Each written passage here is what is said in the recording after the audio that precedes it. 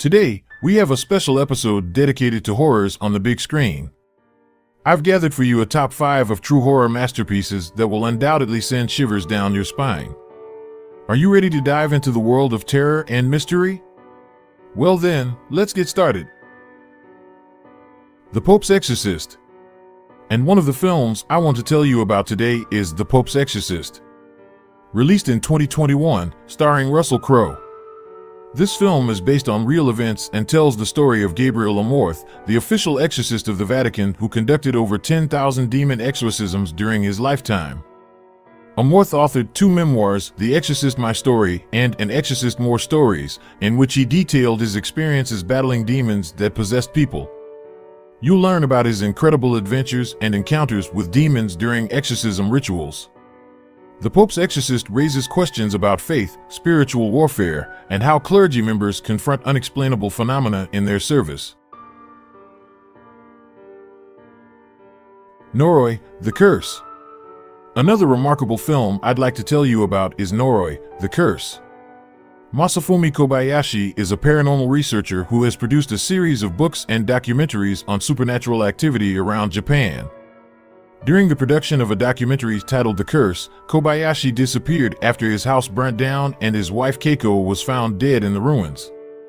The aforementioned documentary begins to play, shown mostly through the recordings of Kobayashi's cameraman, Miyajima. Slumber This film tells the story of a family confronted by supernatural forces that attack in their dreams.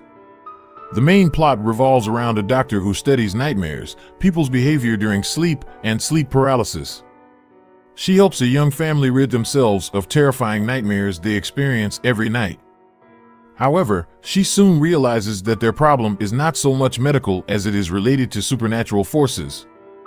During the investigation, the family finds themselves at the center of paranormal events, and they must battle ancient malevolent forces that hunt them in the realm of dreams.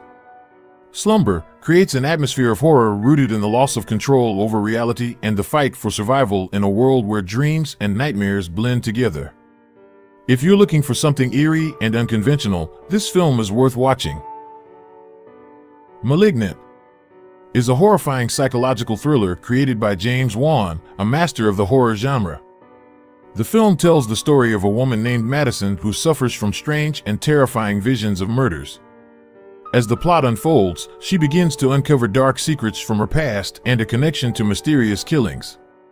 The deeper Madison delves into the mystery, the closer she gets to a shocking truth that will change her life forever.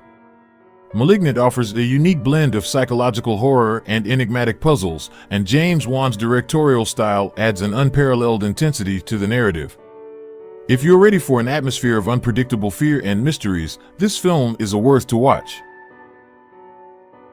Dumplings is a Hong Kong film released in 2004 and directed by Fruit Chan.